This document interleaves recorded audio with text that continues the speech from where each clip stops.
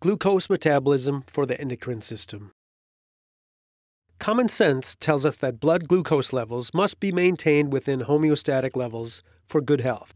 We manage this somewhat through conscious efforts, such as maintaining balanced nutrient intake and regular exercise.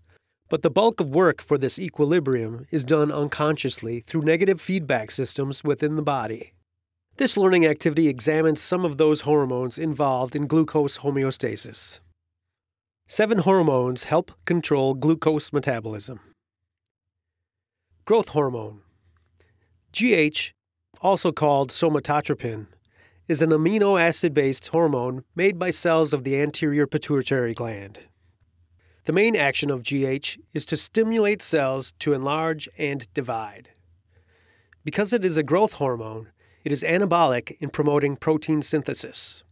GH increases the rate of fat usage by cells and decreases the rate at which cells use carbohydrates for energy. Thyroxine. Thyroxine is made by the follicular cells of the thyroid gland. The follicular cells need iodides to produce thyroxine. This hormone helps to regulate the metabolism of lipids, proteins, and carbohydrates in cells.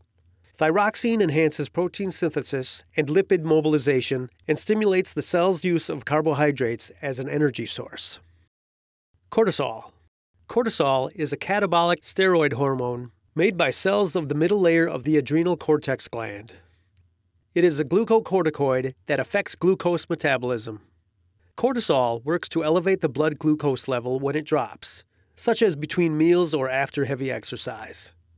Cortisol increases glucose levels by a process called gluconeogenesis.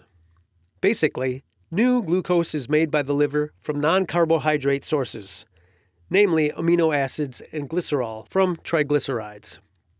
In order to have amino acids and glycerol available for gluconeogenesis, cortisol inhibits protein synthesis and promotes the release of fatty acids from fat deposits. These fatty acid molecules are an energy source to preserve the already low levels of available glucose. Abnormally high concentrations of cortisol are used to reduce inflammation. Glucagon.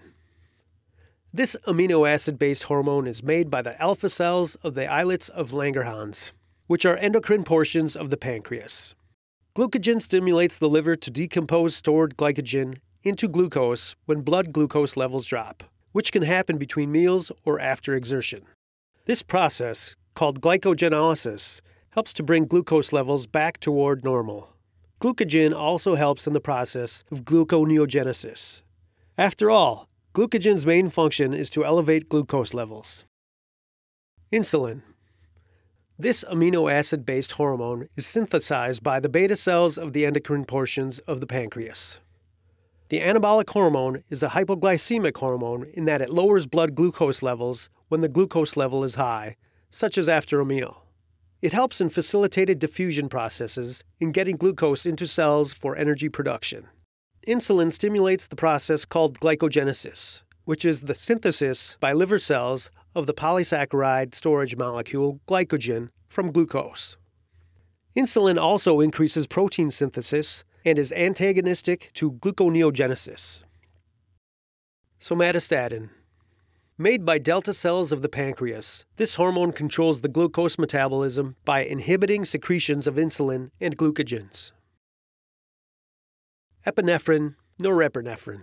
These fight or flight hormones tend to promote processes to increase blood glucose levels since fight or flight functions demand the expenditure of more energy. In conclusion, many hormones and processes help regulate glucose metabolism.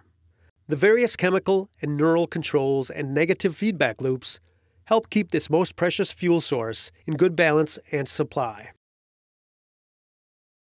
Congratulations! You have completed this learning activity Glucose Metabolism for the Endocrine System.